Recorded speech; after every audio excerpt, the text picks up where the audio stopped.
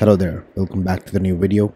Today we'll be looking into this paper which is titled as Improving Passage Retrieval with Zero-Shot Question Generation from researchers from McGill, Mila, Meta AI, Google and University of Washington. So the problem statement that they're trying to solve is that let's say you have a RAG system, right? Wherein you essentially have two steps. The first is the retriever part, the second is the generation part. So they're trying to improve the retriever aspect of it by incorporating a sub step to this, which is a re-ranking step. So most of the times that you'll find like if you incorporate a re-ranker which essentially ranks whatever output you get from vector database and derive your new result sequence, it usually adds a lot of advantage in terms of performance because inside vector database essentially you are calculating a vector based some sort of similarity measure and you're just outputting your candidate passages whereas the part of re-ranker your implementation can vary and you can have cross encoders that considers your retrieved element as well as the query and gives out a score between 0 and 1 in terms of how relevant your query is to this retrieved result based on the cross attention of tokens. You can either go about doing let's say LLM based re-ranking wherein you give him all these retrieved set and ask LLM to re-rank and get you the newer set. And you can give in instructions like the result at the top should be most relevant to the given query and so on and so forth. So that's the central idea what they're trying to propose where they say like they incorporate a re-ranker that's based on the concept of generating questions in a zero shot fashion. So let's see to what exactly this process looks like. So that's what they have written in the abstract. They're proposing effective re-ranking method to improve the passage retriever in open question answering systems. So they use a pre-trained language model to compute the probability of input question conditioned on the retrieved passage. Okay.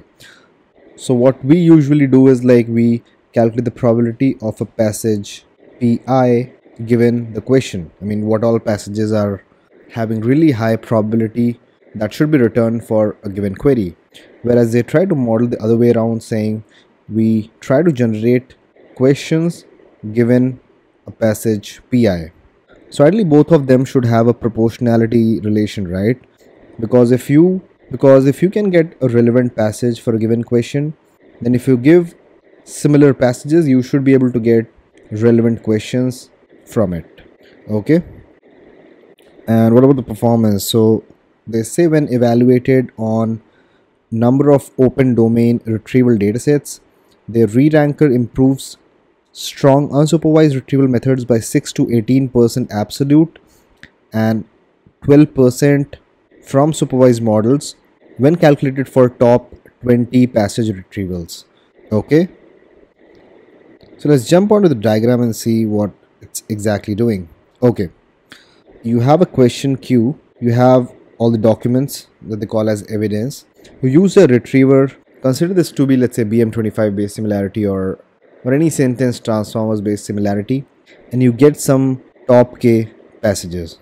Now what you do is like you draft a prompt that looks like this wherein for passage colon you insert the passage content and then say please write a question based on this passage. So you do this for all the k passages that you have retrieved as a part of first step. Then this goes to language model along with the original question and the model generates let's say q1 for P1 for P2 it will generate Q2 for P3 it will generate Q3 and so on and so forth.